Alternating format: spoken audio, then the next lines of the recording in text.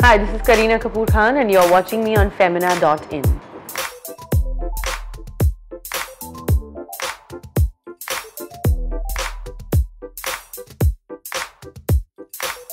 I don't know, I think it would be um, fun, uh, feisty, uh, emotional, brave, and uh, yeah, like I think a foodie. Being in the business for two decades, there, I, I, there's not much that not everyone knows. Obviously, they know a lot. Uh, yeah, but I mean, I think what is it that no one knows? I think I'm pretty transparent. I think most of my fans know exactly how I am.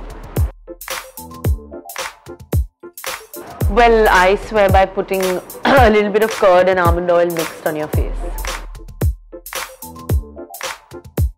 Minimal is key. I think it always wins. Uh, the Lakme Iconic Kohl Pencil, a moisturizer, and uh, yeah, a lip balm.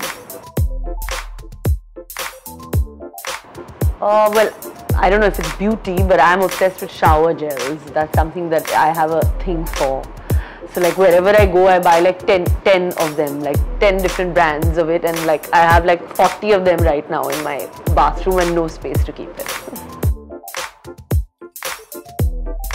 I don't know. I think, uh, like I said, I, I, I don't like putting too much on your face. So whether it's in terms of fashion or whether it's in terms of hair or makeup, I think uh, minimal is always key. So if somebody tells me to be OTT, I think I'll, you know, I won't take that advice.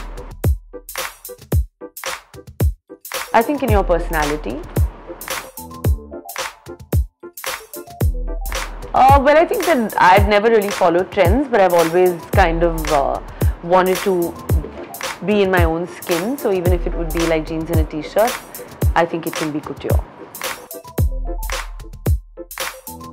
Uh, well, I think nothing like a good pair of nude heels. So I think a nice pair of shoes is something uh, you know that can every girl would want, especially nude color.